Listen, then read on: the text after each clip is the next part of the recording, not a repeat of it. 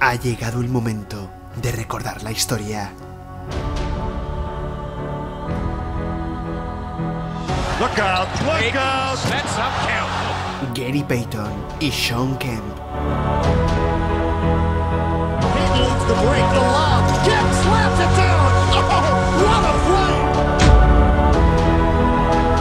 on the floor wouldn't have been right because we couldn't have talked to each other the way we talked to. Como en cada historia, viajemos al pasado. Los históricos Sonics, el Key Arena, uno de los grandes estadios donde se forjaron auténticas leyendas, tres finales desde 1978 a 1980, un campeonato de la NBA, ahora todo vacío, un espejismo, un sueño. De todo lo que nos regalaron los Seattle Supersonics, temporadas únicas, jugadores de ensueño, miembros del Hall of Fame, canastas sin usar. En 2008 una nueva franquicia, Oklahoma City Thunder. Muchos jamás olvidarán lo que fue para ellos un equipo histórico y una ciudad legendaria, aquel anillo del triunfo. two, one, Jugadores como Wilkins y Rule, una final de 1979 contra Washington Bullets, un 4 a 1 rotundo, una temporada regular mejor todavía, 52 victorias y 30 derrotas. A partir de 1981, nadie podía imaginar la gran sequía que se avecinaba. Sin embargo, los Seattle Supersonics consiguieron entrar en el mapa y surgió una nueva esperanza. La primera de ellas con el nombre de Sean Travis Kemp, digno héroe del Concord High School. Sean Kemp wears size 16 shoes and's got a 42-inch sleeve. Considerado uno de los mejores jugadores a nivel nacional en su último curso. Seleccionado en el McDonald's All American del 88. Desde el instituto directo a la NBA. Primera ronda del 89. Un joven muy atlético que tuvo que acostumbrarse al ritmo de la liga. Un ala pivot que se quedó sin playoffs aquel año. Pero el destino le traería un compañero. Pick in the 1990 NBA Seattle Supersonics Gary Payton State. Gary Payton. Peyton llegaría tras una destacada carrera universitaria en Oregón. Y comenzó el espectáculo.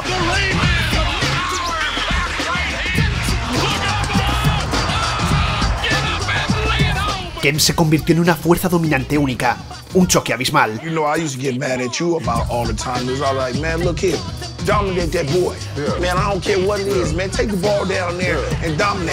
You know, I used to get mad at you about all the time. It was all like, man, look here, dominate that boy. Man, I don't care what it is, man. Take the ball down there and dominate it. But we used to motivate each other because of that. You know what I'm saying? And that's, we- if we didn't have our relationship off the floor, like we did on the floor, wouldn't have been right. Because we couldn't have talked to each other the way we talked to. You know, sometimes we used to cuss at each other. You know, we Fuerza, tamaño y atletismo que lo convirtieron en un compañero ideal para Peyton. Y el base era la estrategia pura, la defensa férrea y sin fisuras. Fueron apodados The Rainman y The Globe, el guante. Grandes argumentos para darle el título de la NBA a Seattle Supersonics.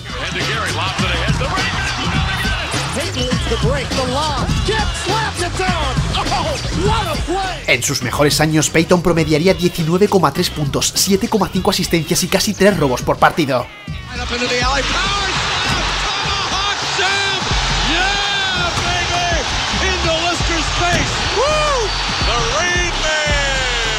Sean Kemp era una bestia de la naturaleza, pero algo les faltaba.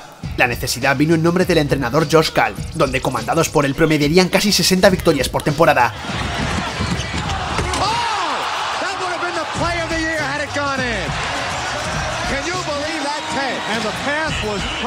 Desde el 93 al 97, Peyton y Kemp fueron incluidos cada uno en el juego de las estrellas como parte de la conferencia oeste, pero lo que querían era un anillo. Look out, look out. En el 93 el sueño casi se cumple, llegando a finales de conferencia y perdiendo contra Phoenix Suns 4 a 3. En el 94 la mejor temporada regular de su historia, 63 victorias y 19 derrotas. Pero la sorpresa llegaría en playoffs, perdiendo tan solo en primera ronda contra los Denver Nuggets de Dikembe Mutombo. Una escena que quedó para la historia. Un equipo que iba directo al anillo siendo derrotado por el octavo puesto.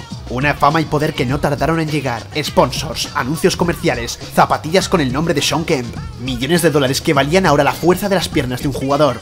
En el 95, con cambios de estadios, los Sonics volvieron a asombrar con un récord de 57 victorias y 25 derrotas. También, eliminados en primera ronda contra Los Ángeles Lakers, el sueño parecía acabarse, algo no estaba cuajando bien. La pareja era imparable, pero el equipo no era insuperable. Sin embargo, el público los amaba.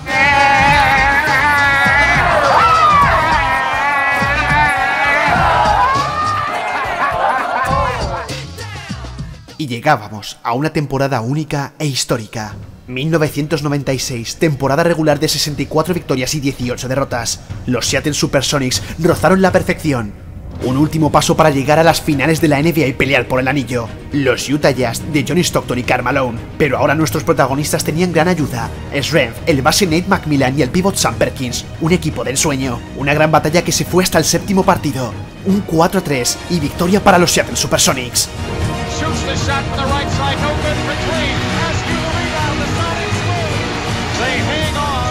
Take out the Utah Jazz in a tough, hard-fought seven-game series to go on to the NBA Finals to meet the Chicago Bulls. La gran final contra Chicago Bulls. The NBA Finals return to Chicago.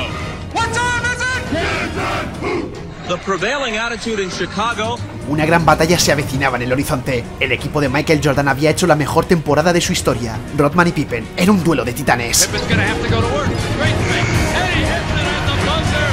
Come on, Sean. You rebound, you run, everybody play like you're playing. Peyton leading the way. Peyton with the steal. And that little look like, Michael, you're the king,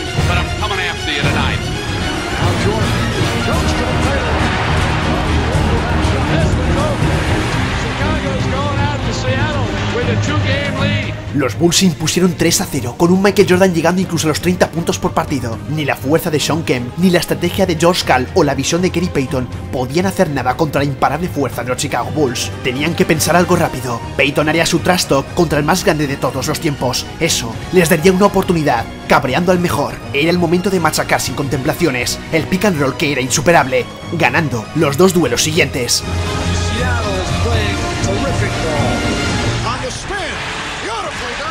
Posted up is Kemp. Gonna turn, wheel, oh, slam, over London. And the Seattle Supersonics taking the series back to the United Center. Era como ir al Coliseo Romano, los mejores jugadores enfrentándose, luchando por cada minuto de balón. Sin embargo, en el sexto partido, los Bulls ganaron 75-87, el comienzo de su segundo three-peat y robando la oportunidad a los Sonics de ser campeones.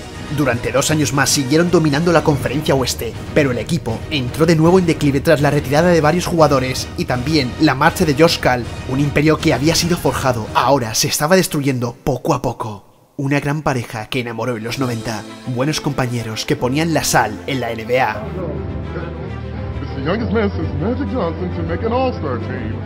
Kevin. He's 20 and he's going on 21. miembros también y participantes del USA Team. Pero todo en la vida tiene que acabar, y la primera fue la marcha de Sean Kemp. Diferencias con los directivos, un traspaso a tres bandas en 1997 que lo llevaría a Cleveland Cavaliers, un juego que empezó a ser un declive, principalmente por sus problemas de peso. La gran emoción sería su encuentro contra los Sonics, el equipo de su vida.